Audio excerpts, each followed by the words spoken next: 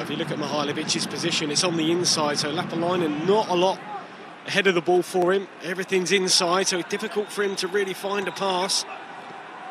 64% possession for the New York Red Bulls. It's not something we readily associate the Red Bulls with having more of the ball. It's uh, only 13 minutes in. It was interesting to hear from Wilfried Nancy ahead of this fixture suggesting that the Red Bulls play pretty much the same away from home as they do at home. They're a counter-attacking side. They don't necessarily have a lot of the ball.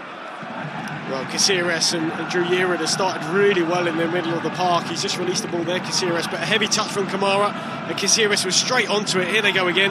Yearwood coming forward. Munoz will play it forward. Opportunity for Fernandez. Takes a wicked deflection and flies in. Red Bulls on the charge early. Omir Fernandez with a deflected effort. Sebastian Breza was wrong-footed. This lot don't care. Red Bulls lead. Yeah, fantastic start for them.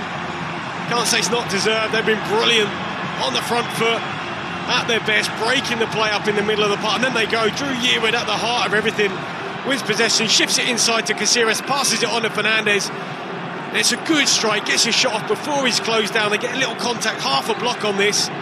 Just carries it past the goalkeeper. They've been superb so far, the Red Bulls.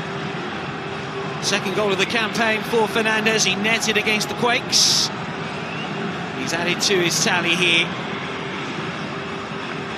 Such a good player, Bronx born.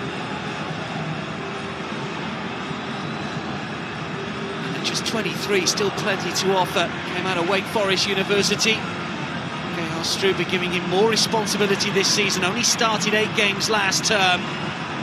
He's come on over the course of pre-season and started every single fixture so far in 2022 and that's his second goal.